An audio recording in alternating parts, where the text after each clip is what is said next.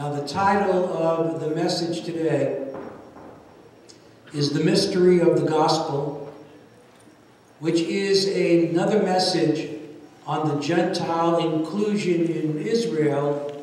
How many of you were here last Shabbat, last Saturday? And it's in connection with that teaching on Yosef and Asenat, and also about the power of biblical adoption. And uh, you really need to uh, stay with me because there is uh, a lot of meat in this message. Somebody say, Where's the beef, Rabbi Jeremy? Where is the beef?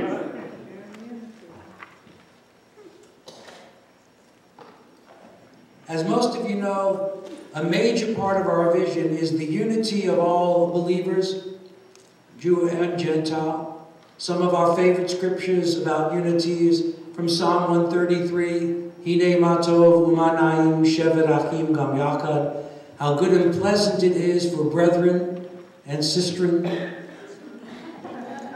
to dwell together Paul says in Galatians 3 28, in him, meaning in Yeshua, there's neither Jew nor Gentile, male nor female, slave nor free. Paul adds in verse 29 of Galatians 3, and if you are in the Messiah, you are Abraham's seed and heirs according to the promise. Romans 11, of course, tells us that Gentiles have been grafted into the olive tree of Israel. Paul goes on in Ephesians chapter 2 telling Gentiles you are no longer foreigners nor aliens, but fellow citizens with the Jewish people, part of the commonwealth or the larger dynasty of Israel. And of course, the words of Messiah in uh, the garden before he went to the tree of sacrifice, he prayed earnestly, Father, may they be one, even as we are one. Now, during the apostolic era, meaning during the first century, the first century Messianic community, there was indeed great unity amongst all the believers. Jewish and Gentile believers were worshiping and hearing the word of God together in the synagogues on Shabbat, according to Acts 13, verse 42 through 44, and Acts 15, verse 21. We're going to look at those a little bit later. And they were actually following the example uh, of Yeshua. And Paul, if you could put up that PowerPoint again, please. Look at these scriptures. They were following the example of Yeshua, who himself attended and taught regularly in the synagogues on Shabbat. And if you want to jot down those scriptures, look it up later. Matthew 4 23 and 9 35. Mark chapter 1, verse 21, and chapter 6, verse 2. Luke chapter 4, verse 16, and Luke 6, verse 6, and Luke 13, verse 10. The Gospel of John 6, verse 59, and chapter 18, verse 20. Quite a few. They all will tell you that Yeshua attended and taught in the synagogues regularly on the Sabbath. And at that time also, Jew and Gentile alike were enjoying the spiritual status of the one new man in the Messiah that Paul speaks about in Ephesians 2.15. And now, as believers today, how many believers do we have here today? As believers today, our goal is to be an extension, an extension of that early Messianic Jewish community walking in the same spirit of unity in the Messiah. Let me add, if it was good enough for the first century apostles and disciples of Yeshua and for the early Messianic Jewish community, it should be good enough for us. Amen? Now, unfortunately, after the apostolic era, meaning the early centuries, the body of the Messiah became fragmented and divided largely due to the anti-Semitic policies of the early Roman church leaders, which included anti-Torah and replacement theology. The saying that God is finished with the Jews, that the church is the new Israel. We're all familiar with that broken record. And also, Gentiles who associated with the Jewish believers were themselves Gentile believers were themselves persecuted by the Roman Christians. How many of you have been persecuted yourself for embracing Messianic Judaism? How many of you heard things like, what are you going to that Jewish church for? Things of that nature? Same spirit. And also at the same time, non-believing, non-believing Judaism put Jewish and Gentile believers out of the synagogues, which actually was a fulfillment of what Yeshua himself said in John 16, verse 2. And by the middle of the second century, Gentile believers were no longer embracing Messianic Judaism, but practicing traditional Christianity, with the exception of the sect of the Nazarenes, who were also called the Way, according to Acts chapter 9, verse 2, and other places in the Brit Hadashah. Now, the teaching really is, today is not a slam on Christianity. There are lots of wonderful churches out there. Not a slam on Christianity, but on those who come against Gentiles embracing their biblical Jewish roots in the Messiah. There's a difference. And this sect of the Nazarenes, also called the Way, was comprised of Jewish and Gentile believers in Yeshua and they remained separate from traditional Christianity until at least the third century. But then after the third century, Constantine's Christianity took over, which was anti-Torah, anti-Jewish, and filled with pagan practices. But praise the Lord, as we all know, Messianic Judaism has been greatly restored in these last days. Somebody say amen even in this generation, that especially has happened since Yom HaAtzmaut, Israeli Independence Day, in May of 1948, when Israel was back in the land speaking her own language. Truly a miracle that never happened before. And that was also preceded one year before in 1947 by the discovery, or should I say, the resurrection of the Dead Sea Scrolls out of the caves of Qumran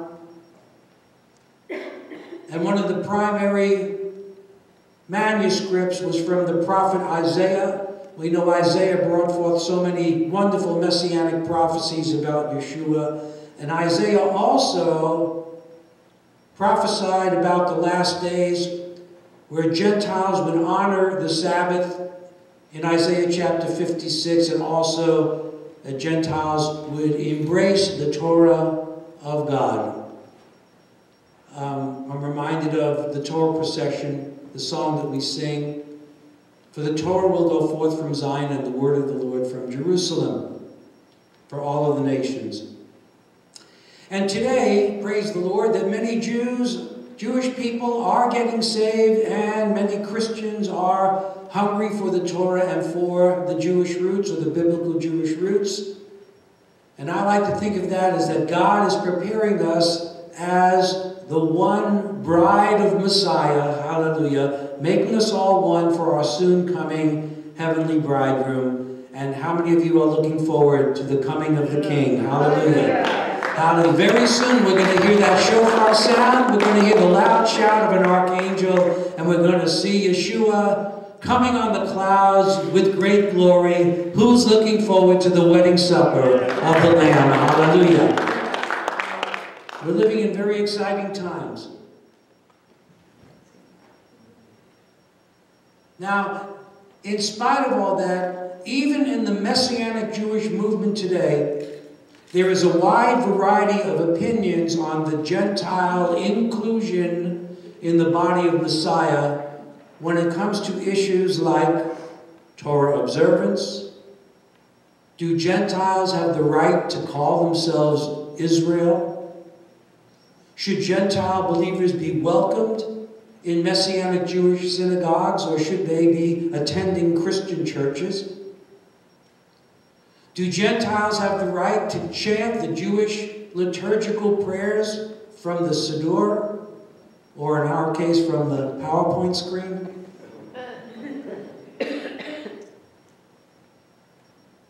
Do Gentiles have full equal status as the Jewish believer? Well, if you were here for last week's teaching about the story of Joseph and Asenath and the power of biblical adoption, we know the answer is definitely yes.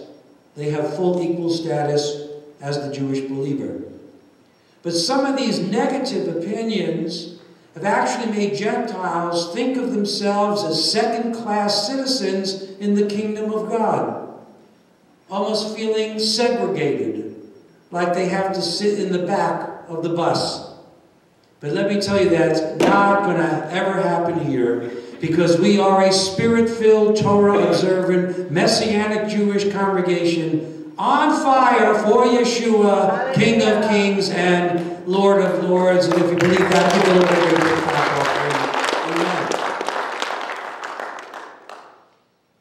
But as a result of those negative opinions, many Gentiles, who, by the way, have every right to be frustrated, many Gentiles are going at great lengths to prove that they are Jewish for greater acceptance. And some of them are actually frantically searching out their genealogies for Jewish blood ancestry. Some are converting legally to Judaism through circumcision of the flesh and by going into the mikvah. Now, let me clarify, we go into the mikvah each year as a congregation, but not for those reasons more so to rededicate our lives to the Lord as a time of new beginnings, and we go in as the bride of Messiah, which was part of the ancient Jewish wedding customs. Some are embracing what's called the two house theology, which teaches that most Gentile believers in North America were the descendants of the ten lost tribes of Israel because of the genetic dispersion of those ten tribes throughout the centuries. Some are even planning to make Aliyah, to move to Israel, but for the wrong reasons. Perhaps to prove to themselves uh, that they are more Jewish this way. But what we must remember, we must remember that our identity is first and foremost rooted in Yeshua. Hallelujah. Because Yeshua, He has done everything that we need to share in the commonwealth of Israel. Through Him, Gentile believers are grafted into the olive tree of Israel. It's in Yeshua that we uh, live and move and have our being. Our lives are hidden in the Messiah. Somebody say it's all about Yeshua. Hallelujah. And if you're a believer, and I always like to say this, if you're a believer in Yeshua, whether Jew or Gentile, you have the spirit of a very Jewish Messiah already living inside of you. Now, that doesn't mean that I'm minimizing Torah observance or attending Messianic Jewish synagogues or chanting the liturgical prayers for the Gentiles. I'm fully encouraging that. Most of you know this is a large part of our vision over the years. But Gentiles just shouldn't be doing it merely to be seen in the eyes of men, but rather in the eyes of God. Or in other words, not for appearance sake, but because the Holy Spirit is leading you in that direction. Amen? Amen. And you know, when the light bulb goes on, the Holy Spirit is leading you, obey, follow, because He's leading you to a place of blessing. Now, on the flip side, that doesn't mean that Christians are the new Israel. It means that Gentile believers are part of a greater collective that is variously called the following the Israel of God, the Commonwealth of Israel, the assembly of believers, the people of God, and sometimes metaphorically, the kingdom of heaven. Now, I know that that was a pretty uh, lengthy introduction, but a very important one, especially on this subject of the Gentile inclusion in Israel. And today, we're going to look into the book of Acts and the book of Ephesians, taking a closer look at Paul, Rav Shaul, who was an apostle to the Gentiles, according to Acts chapter 9, 15, and Ephesians chapter 3, verse 8. And Paul was most definitely the most effective of Yeshua's disciples for preaching and for spreading the gospel or the good news. Let me also add that Paul suffered greatly for his passion in bringing the gospel to the Gentiles, suffered greatly for including them in the arena of Israel. In particular, Paul suffered at the hands of the non believing Jewish community which included him nearly, uh, being nearly uh, beaten to death and thrown into prison. And listen carefully, not because he was proclaiming the death and the resurrection and the messianic office of Yeshua, it wasn't for that reason, but rather it was the message of the inclusion of the Gentiles that brought the wrath of Jerusalem on Paul's head. So if you have your Bibles, please turn to the book of Ephesians.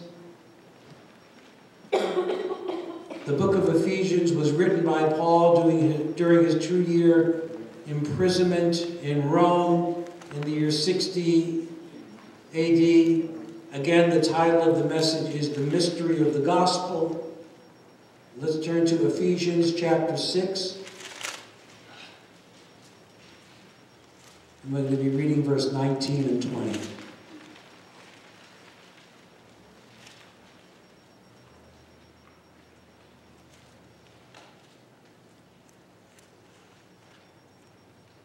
Ephesians 6, verse 19. And for me, as in, and pray for me, that utterance may be given to me, that I may open my mouth boldly to make known the mystery of the gospel, for which I am an ambassador in chains, that in it I may speak boldly as I ought to speak. So, what is the mystery of the gospel? Why exactly is Paul in chains? We know that Paul and Silas were in chains before in Acts chapter 16. And we could naturally assume that the mystery of the gospel for which Paul was in chains was for preaching the gospel of Yeshua's death and his resurrection, but as we've seen, that would be wrong. At the time of Paul's arrest, Yaakov, Yeshua's brother, was also in Jerusalem preaching the same gospel. So were thousands of Jewish believers, again, who all were zealous for God's Torah, myriads, says Acts 21, verse 20. And none of them were being arrested or dragged before the Sanhedrin, marched off to Caesarea or sent to Rome, as Paul was. See, Paul was arrested for supposedly, supposedly bringing a Gentile into the temple area. Let's turn to Acts chapter 21.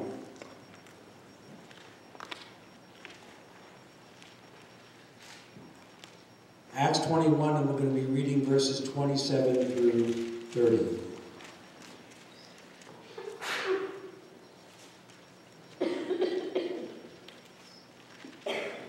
Now, when the seven days were almost ended, the Jews, meaning the non believing Jews from Asia, seeing him in the temple, stirred up the whole crowd and laid hands on him, meaning Paul, crying out, Men of Israel, help!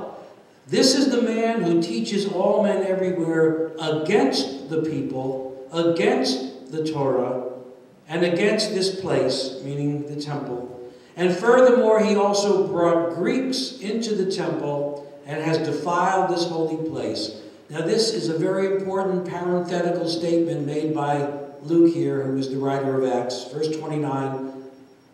For they had previously seen Trophimus, the Ephesian, with him in the city, whom they supposed that Paul had brought into the temple. Again, an important comment by Luke clarifying that these charges against Paul were untrue. Verse 30 And all the city was disturbed, and the people ran together. They seized Paul and dragged him out of the temple, and immediately the doors were shut. So Paul was attacked by an angry mob of Jews, not for proclaiming the gospel of Yeshua, but supposedly for bringing a Gentile into the temple. And it's not that Gentiles weren't allowed in the temple's outer court.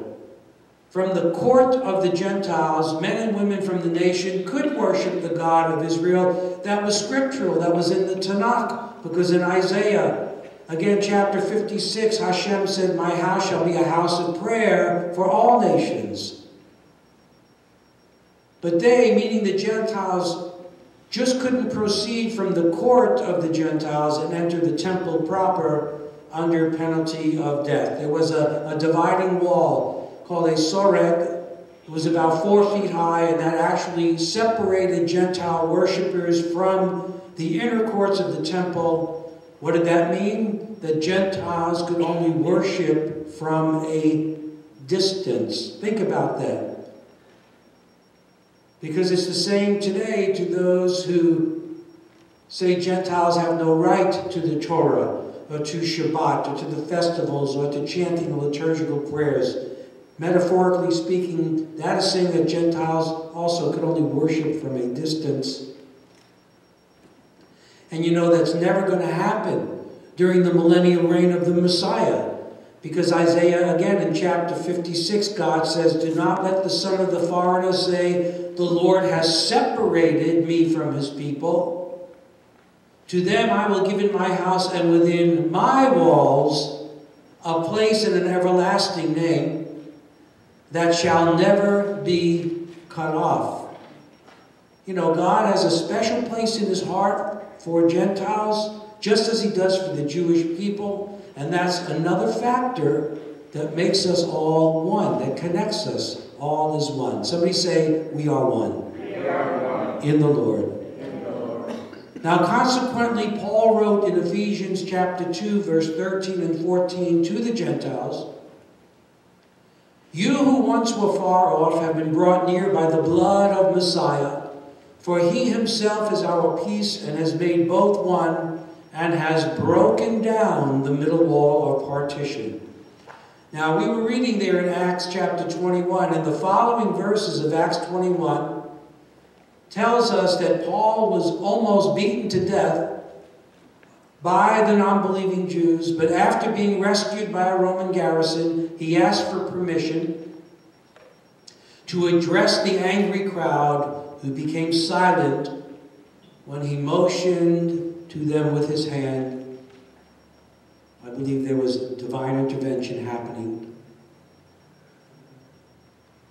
And beginning in Acts chapter 22, Paul tells the crowd his testimony, what happened to him. And he tells them in the Hebrew language how he was a Jew, a Pharisee who studied under Gamaliel, how he persecuted the Jewish believers in Yeshua, his encounter with Yeshua on the road to Damascus, how he was blinded by the light, and how his sight was restored through the prayer of Ananias, how he was praying in the temple, seeing a vision of Yeshua and speaking with him. And to all of this, to all of this testimony that Paul was giving, the crowd had no objection until Paul mentions one thing. Let's read Acts 22, beginning with verse 21.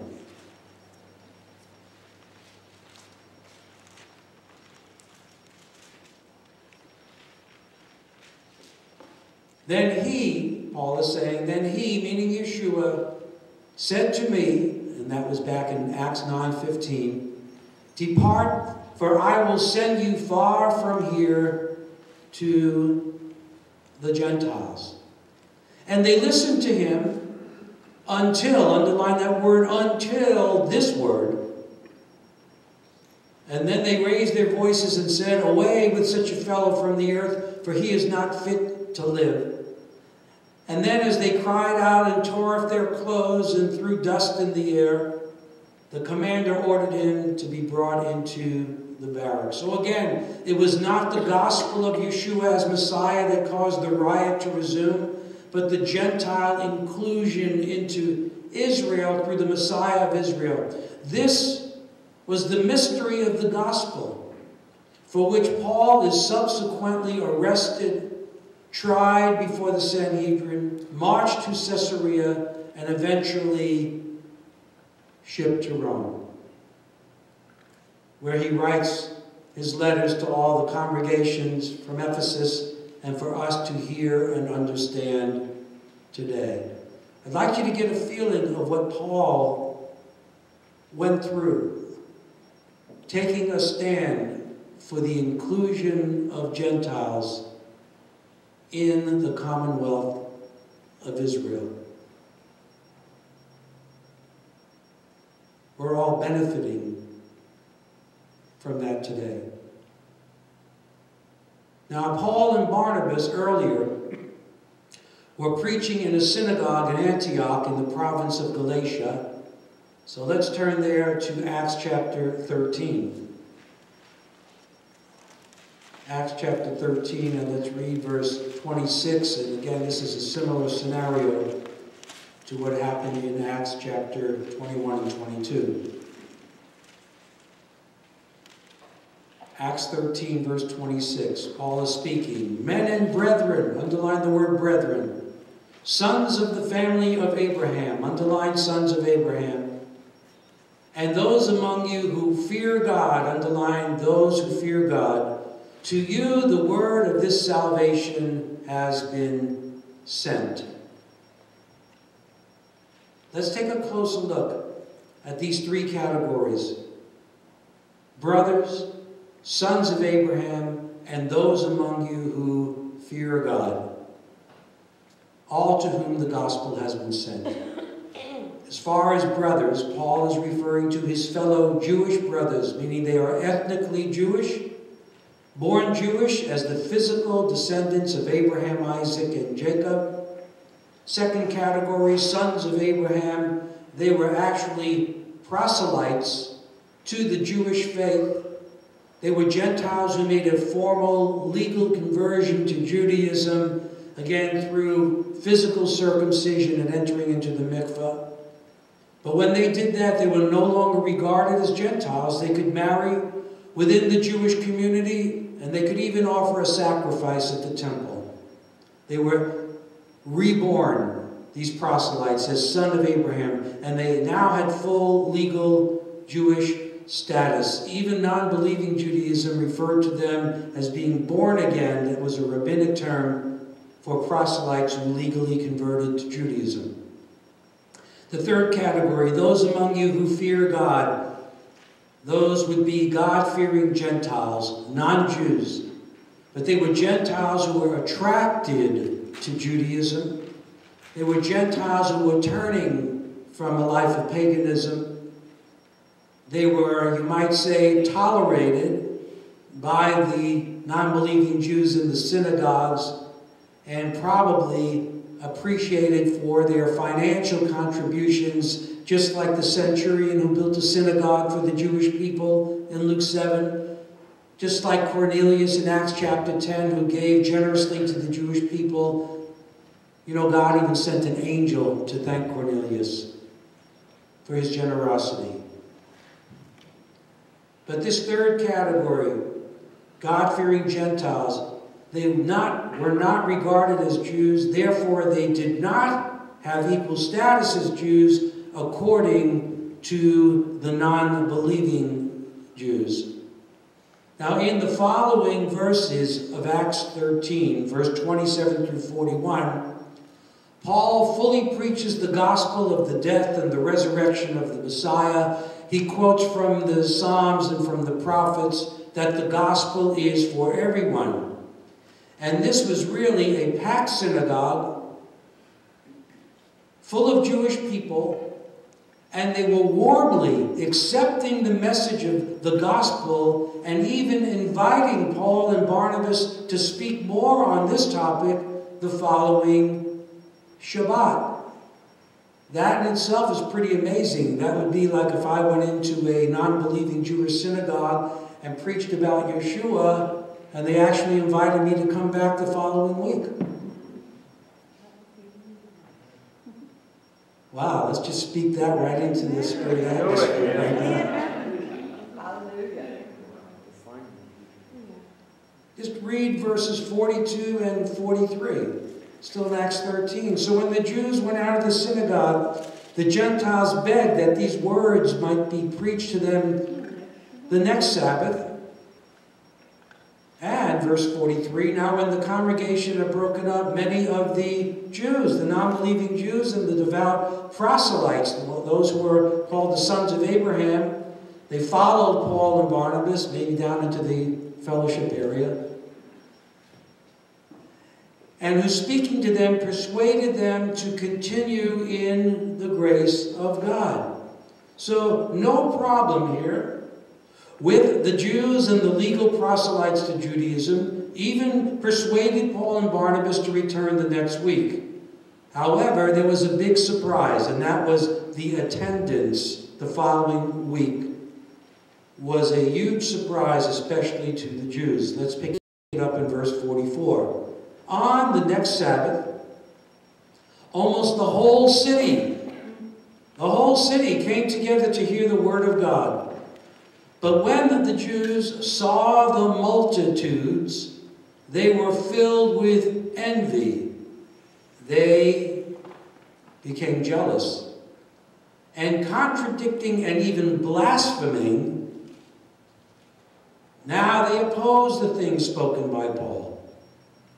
And then Paul and Barnabas grew bold and said it was necessary that the word of God should be spoken to you first Again, to the Jew first.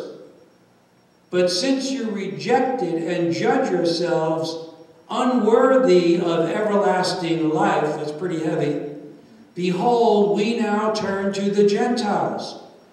For so the Lord has commanded us, I have set you as a light to the Gentiles, that you should be for salvation to the ends of the earth, quoting from Isaiah 42, verse 6, and Isaiah 49, verse 6. Now, when the Gentiles heard this, they were glad, and they glorified the word of the Lord. And as many as had been appointed to eternal life believed. And the word of the Lord was being spread throughout all the region. But the Jews, they stirred up the devout and prominent women and the chief men of the city. They raised up persecution against Paul and Barnabas and expelled them from their region. What does that remind you of? It's like when the Pharisees stirred up the people to have Yeshua crucified when he appeared before Pilate. Similar scenario. Now, the vast majority of the Gentiles who were there and who were saved by the gospel, they provoked the Jews to jealousy. But how sad that the Jews went in the wrong direction. You know, we're supposed to provoke the Jewish people to jealousy, says Romans 11. And actually, that's what they were doing, the Gentiles.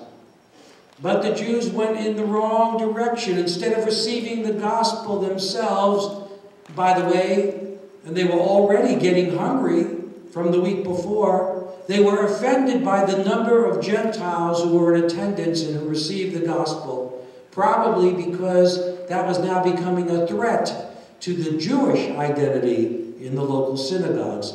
You know, let me say something here. Do you know that most Messianic Jewish congregations, except in Israel, have a greater majority of Gentiles in attendance than those of actual Jewish descent?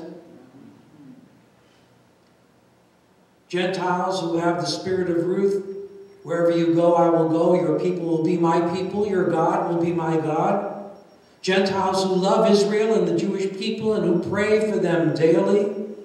Gentiles who are grafted into the commonwealth of Israel. Gentiles who love God's Messiah, God's Torah, God's festivals. Gentiles who want to honor and who delight in the Sabbath and want to keep it holy.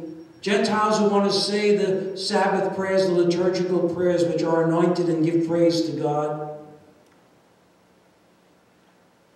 This is hard to believe, but I've witnessed it. There are still, though, Messianic Jewish congregations today who say to Gentile believers, Well, I'm glad that you have faith in Yeshua, but honestly, you're not welcome here. Go find a nice church. You're interfering with our mission to the Jewish people. And all I can say to those who think like that is shame on you. How can you think that way? Haven't you read your Bible? Are you greater than the apostles of Yeshua? Are you greater than God who clearly says himself that he wants unity in all of his house? Are you greater than Yeshua who said there will be one flock and one shepherd? Are you greater than the Messiah who prayed, Father, may they be one, even as we are one? You know, God looks down on our congregation and many congregations like it, and he sees Jew and Gentile worshiping him in one accord, and you know what? He smiles. Amen.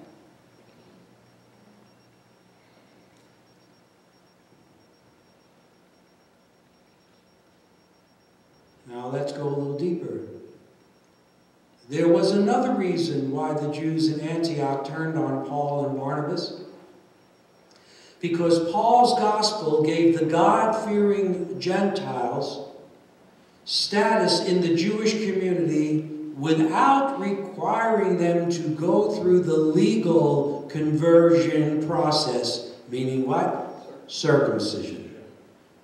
This topic of circumcision is a big one. It was a scathing issue in the first century Messianic community. Paul was saying that they were now sons of Abraham, like the proselytes, but they were sons of Abraham just by merit of faith in Yeshua. And again, Galatians 3:29 says if you are in the Messiah then you are Abraham's seed and heirs according to the promise. Gentiles could now be regarded as brothers with the Jewish people. We saw that in the teaching last week, the power of biblical adoption. And when Paul says Gentiles, he means real Gentiles. Do I dare say Goyim? Real Gentiles who did not have to be circumcised in the flesh to be part of the Jewish community. And that was quite opposite, if you remember, from the believing, even the believing Pharisees in Acts chapter 15. And other heresies who were insisting that Gentiles must be circumcised and obey all of the Torah in order to really be saved.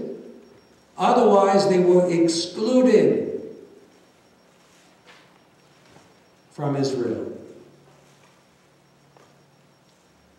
Let's turn to Romans chapter 2. And again, see what Paul had to say about this subject of circumcision. Romans chapter 2, verse 28 and verse 29.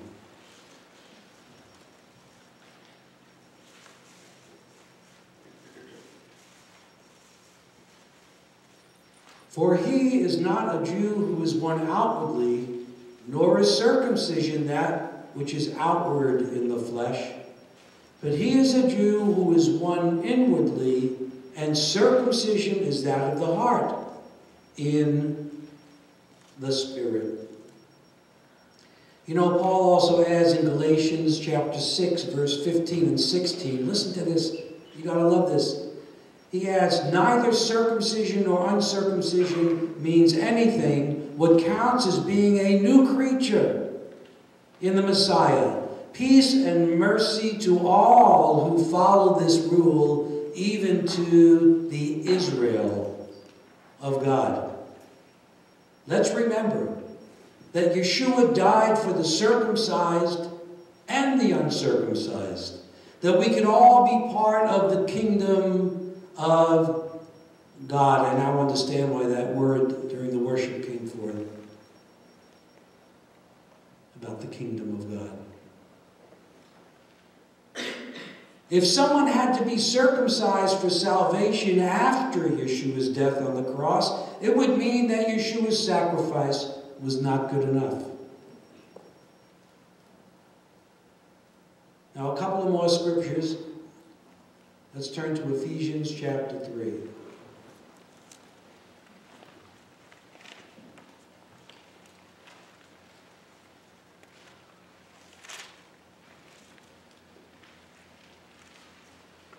Ephesians chapter 3, and we're going to first read verses 1 through 9.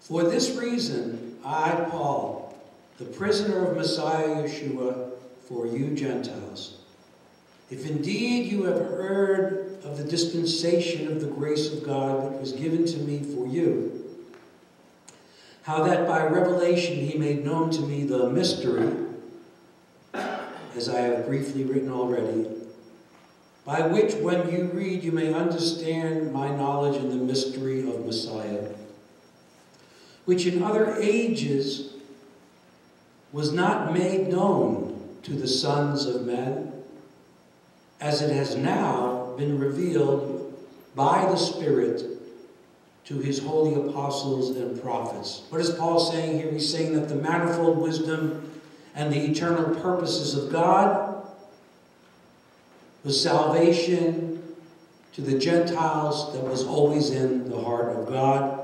It was spoken of by the prophets, but now it's being fully revealed in Yeshua. Now it's really happening. That's what Paul is saying here. Let's move on. Verse 6 that the Gentiles should be fellow heirs of the same body and partakers of his promise in Messiah through the gospel, of which I became a minister according to the gift of the grace of God given to me by the effective working of his power. To me, who am less than the least of all the saints, this grace was given that I should preach among the Gentiles the unsearchable riches of Messiah, and to make all see what is the fellowship of the mystery which from the beginning of the ages has been hidden in God, who created all things through Messiah Yeshua. As we read these verses, you know, this is some really deep stuff. Paul was speaking about a mystery that has been kept hidden in God for ages. And uh, Paul also believes it's a mystery with which he was entrusted. And this became Paul's passion. It was a secret that was concealed for all the ages of creation. The Gentiles are heirs together with Israel. It's the mystery of the gospel. It's the mystery of the Messiah. Three more verses. Let's read verse 9 through 11. And to make all see what is the fellowship of the mystery which from the beginning of the ages has been hidden in God, who created all things through Yeshua the Messiah, to the intent that now the manifold wisdom of God may be known by the church, reads ecclesia, called out ones, by the assembly, to the principalities and powers in the heavenly places. That's rich. According to the eternal purpose which he accomplished in Messiah, Yeshua, our Lord. The mystery of the gospel. Again, the Gentile inclusion in Israel is according to God's eternal purpose. And those are some pretty big words. The eternal purpose of God. That's big. What does that mean? Well, Paul explains in verse 10 that God's intent was that now through the assembly, through us, through the body of believers in Yeshua, that the manifold wisdom of God is going to be known by principalities and powers in the heavenly realms. Paul was saying here first that through Messiah that God is in the business of saving human souls and he's adding that when the Lord takes Gentile people away from their pagan gods, there is nothing that rulers, authorities, or principalities can do about it. Every Gentile that's taken from the false gods of this world and joined to the people of Israel represents a loss of territory and prestige for the enemy. Hallelujah.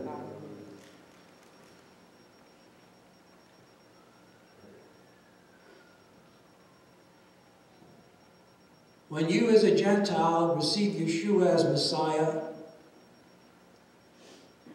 the enemy really took it in Labanza. Because it represented a loss of his territory and prestige. And that is the manifold wisdom of God. It's God's plan of universal dominion. God's universal dominion. Gentile believers are God's, you might say, tokens of victory in an ancient struggle against darkness. And maybe this is where the phrase token Gentile comes from. But the eternal purpose of God is the redemption of the whole world. Now, we can go a little deeper here. How many of you want to go a little bit deeper into the Word?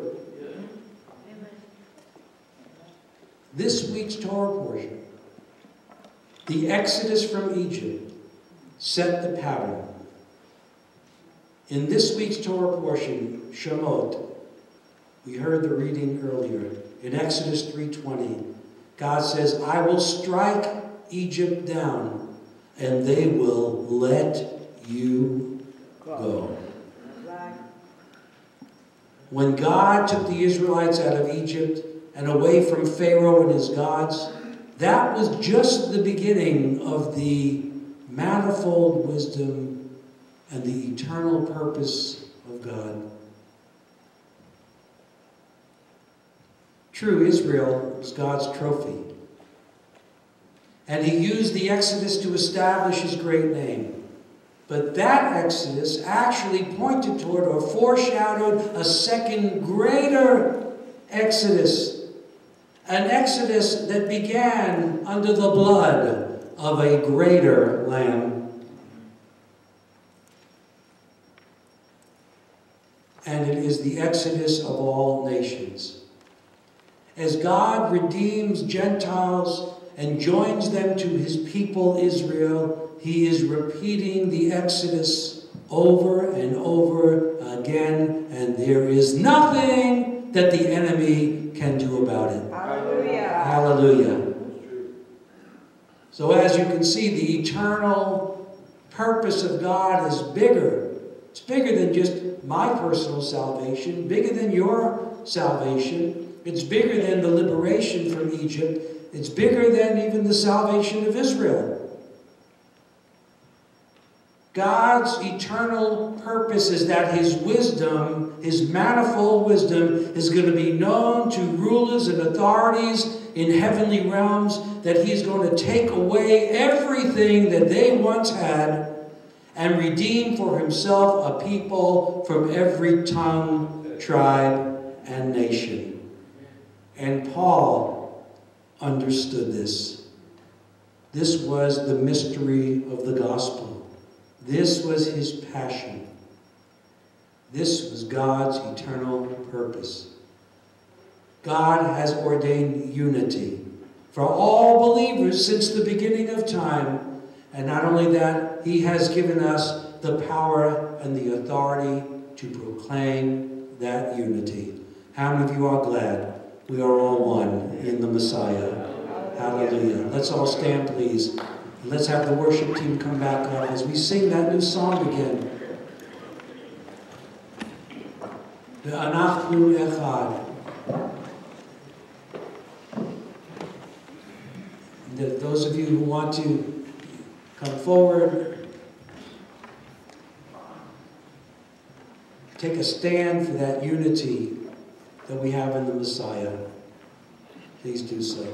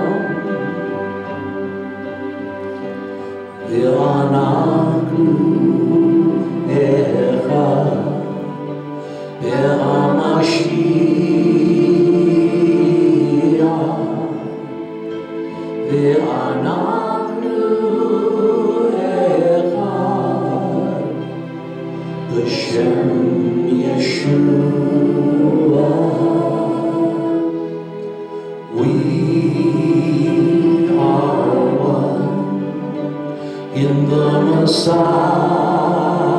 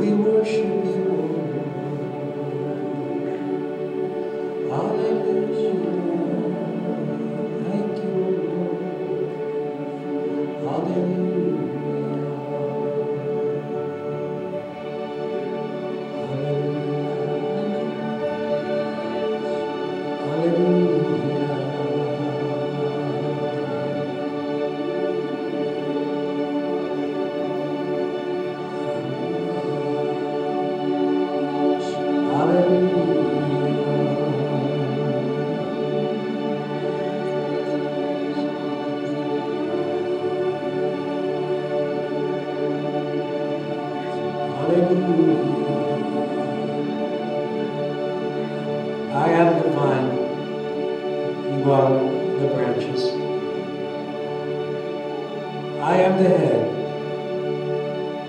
You are my body.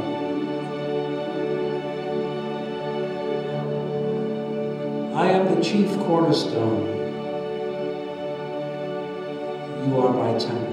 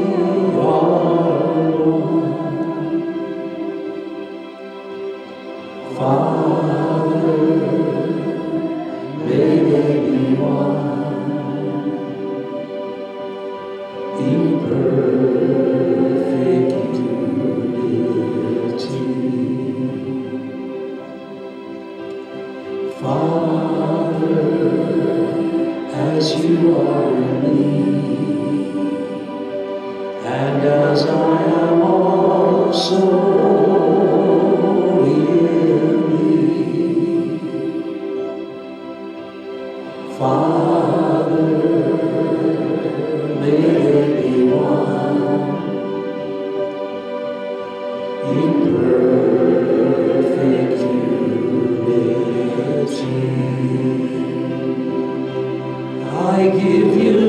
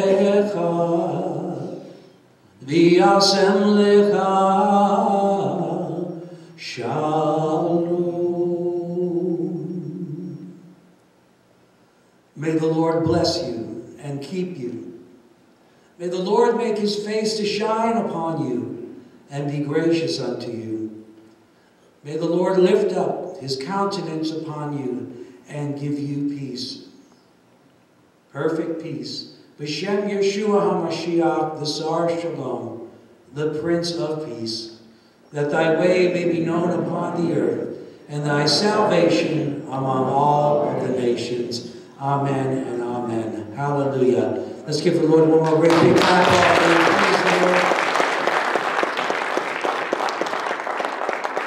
Now let's go downstairs for some food and fellowship.